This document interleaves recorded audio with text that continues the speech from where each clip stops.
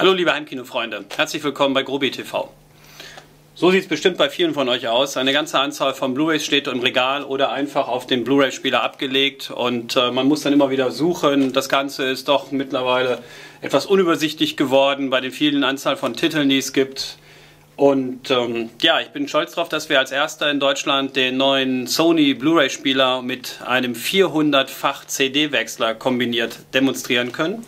Hier ist er. Das ist der neue Mega Changer, der Blu-ray-Spieler von Sony, der BDP CX7000ES. Und wie der funktioniert und welche Besonderheiten im Inneren dieses doch relativ großen Gerätes stehen, erklären wir euch in den nächsten Minuten.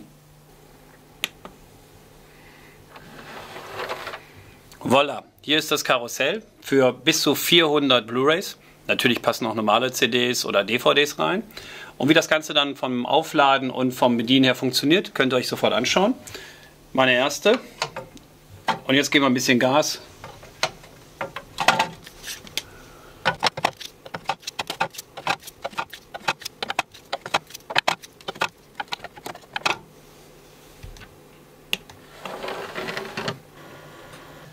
Der BD7000 hat jetzt einen Netzwerkanschluss und mittels des Netzwerkanschlusses lockt sich der BD7000 direkt in dieses Programm GraceNote ein und prüft jetzt anhand der Daten von den jeweiligen Blu-rays, den CDs oder den Musik-DVDs oder auch normale Spielfilm-DVDs die Inhaltsangaben, also Titel, welche Darsteller mitgespielt haben, Regisseur oder auch welche Kategorie dieser Film beispielsweise hat.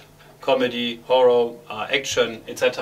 Das Ganze dauert natürlich etwas und äh, offen gesagt, wenn jetzt da 400 Blu-rays auf einen Schlag reingepackt werden, ist natürlich empfehlenswert, das Ganze am besten vom Schlafengehen zu machen. Somit ist der anderen Morgen sicherlich fertig und ich sehe dann dort entsprechend gleich äh, in der Übersicht alle gefundenen Titel entsprechend aufgezeigt.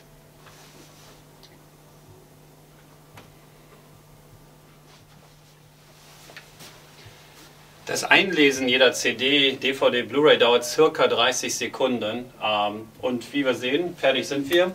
Angezeigt wird beispielsweise, wenn es äh, optimal läuft, der Titel der jeweiligen DVD, der Name des Films, als aber auch entsprechend hier der Regisseur, äh, entsprechend welche Kategorie dann dort äh, der Film hat. Und das Ganze kann ich dann jetzt, wir kennen das vom, vom Aufbau des Menüs wie bei einer Playstation, über dieses entsprechende Kreuzmenü steuern und sehen, hat also schon eine ganze Menge DVDs gefunden.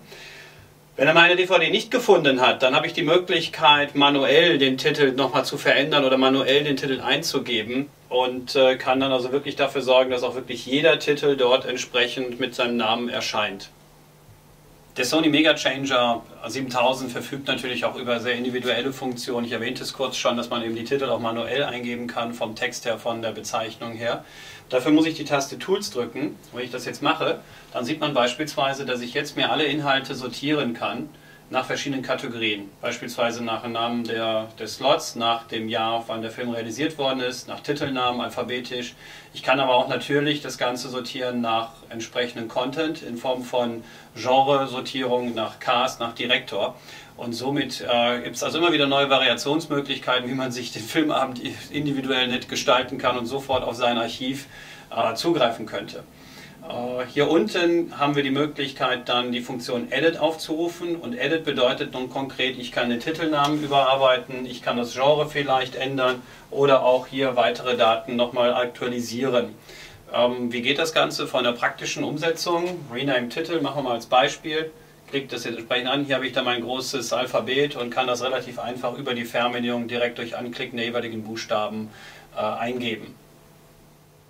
Das Menü ist vergleichbar mit dem der PS3, somit jeder, der eine PS3 schon mal in den Händen gehalten hat und mitgespielt hat, wird sich da sehr schnell zurechtfinden. Wir haben also hier die Übersicht für die ganzen Videoinhalte, hier die Übersicht wird angezeigt für die Musik-CDs, ah, hier könnten wir uns Fotos anschauen und hier ist natürlich das Setup-Menü.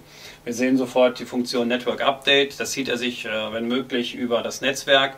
Derzeit ist die Version 13 hier installiert mit der Menüsprache Englisch oder Französisch. Ah, deutsche Versionen sind wohl in Vorbereitung, genauso wie es auch wohl noch ein weiteres weiteres Update geben wird für die Grace Note Funktion, also für die Abfrage der Daten für die jeweiligen CDs und DVDs oder Blu-rays, die man eben eingelegt hat. Da soll sich also in den nächsten Monaten noch das eine oder andere tun. Die Grundeinstellungen des äh, 7000er Mega Changer von Sony sind vergleichbar mit den Top-Modellen der Sony Palette. Natürlich äh, unterstützt der Blu-ray-Spieler die neuen hochauflösenden Tonformate. Ähm, wir haben die Möglichkeit, äh, das Ganze natürlich auch mit automatisch 24p auszugeben. Also alles in allem ein extrem hochwertiger Blu-ray-Spieler, der dann eben die Zusatzfunktion hat mit dem kleinen Schacht von 400 äh, Silberscheiben, die man dort ablegen kann. Verfügbar sein soll der 7000er in den nächsten Tagen bei uns für einen Preis von 1999, also 1999 Euro. Ähm, es gibt in Amerika noch eine kleinere Version des Mega Changers, die aber hier in Europa definitiv nicht angeboten werden wird.